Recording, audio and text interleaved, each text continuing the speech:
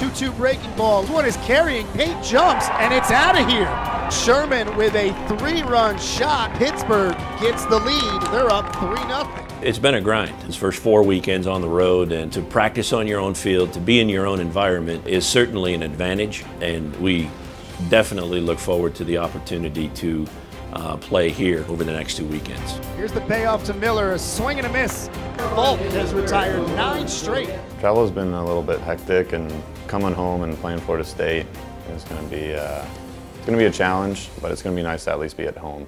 Here's the 2-2 right back up the middle. That's going to be the first hit for Pitt as Kowalczyk gets the single.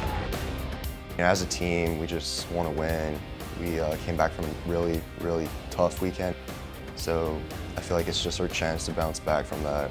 LeBlanc, this one ripped out to right field. It's going to be a single. I like where we're at, and I like where this team is at, and I expect to be very competitive moving forward.